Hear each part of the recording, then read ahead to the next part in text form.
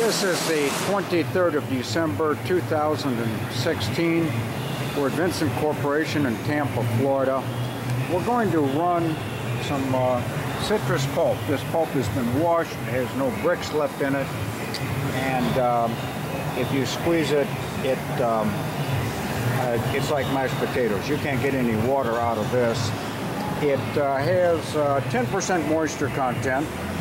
The sample we're going to run has been rehydrated. We added two parts of water for every three parts of this material to bring the moisture content uh, from 90 up to 94 percent and we're going to try running it in a uh, screw press to see if we can get it down to about 92 percent. This is the uh, press that we're going to use. Uh, up to a certain point, it's a normal press. That is, it has a motor and a gearbox and an inlet hopper with a screw in it. And it has a screen. In this case, it's a fine perforated. We're at a old 2-3, uh, 23 thousandths, which is about 550 micron uh, openings on that screen. And we have a discharge cone. It has a rotating mechanism. That is this collar right here is clamped to the shaft of the screw. As it turns, it turns this pin. The pin goes into the back of the cone, makes the cone rotate, and the cone can slide in and out. What we've done, there's another press somebody else is testing. You can see the same mechanism where an air cylinder pushes in the, uh, the mechanism against the cone.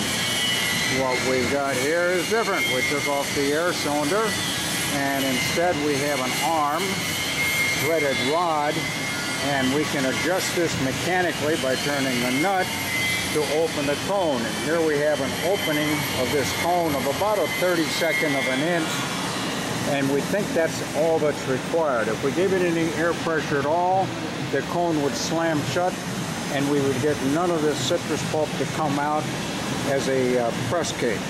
So we use a mechanical fixed opening when running materials like this.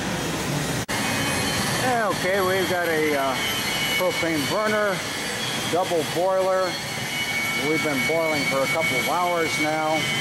And here is our rehydrated sample. And what temperature have we got it up to? 142. 142. They run it at 190, uh, but 142 is the most we can get out of uh, this arrangement. So that's what we're going to run it at, 142 Fahrenheit. Okay, feeding some in here.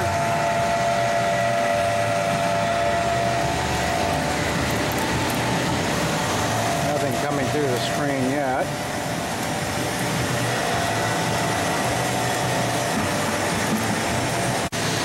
Okay, we're getting uh, no liquid out at all yet.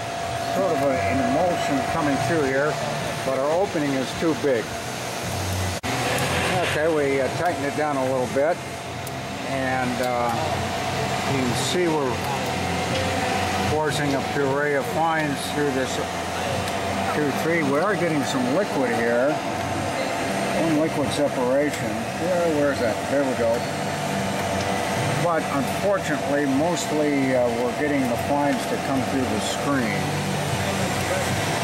Get around to the other side. Everybody's working over here. And um, and here, same sort of action. This press uh, has resistor teeth at the top, down at the bottom. So the action on the, this side of the screen is a little different than the other, but um, doesn't look good. You can see the rotating cone mechanism where that collar drives the pins that drives the cone.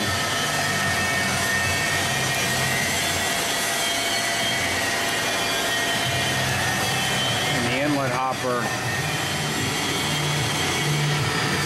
it's going down very slowly.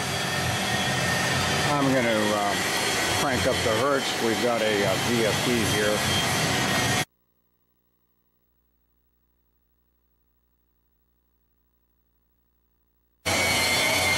We're cranking the hertz up to 120. and um, see if that makes any difference. We were running at 40 hertz. I thought maybe if we started slow, it might help.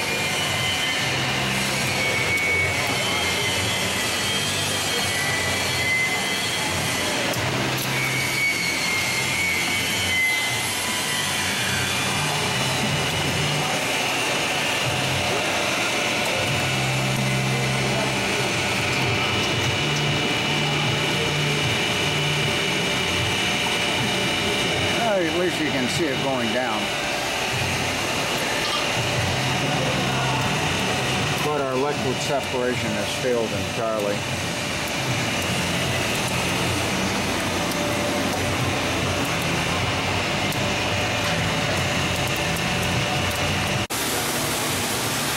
Okay. Um, slowed it down to 6 hertz. Uh, it may trip out. Probably not. Uh, but at 6 hertz, see if the action turns any different. It's extreme. Uh, we still have material in the inlet hopper.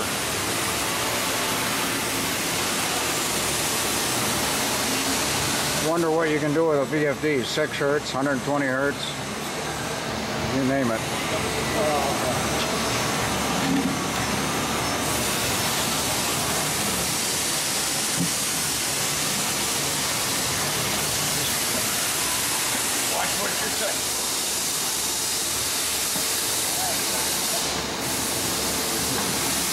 No cigar.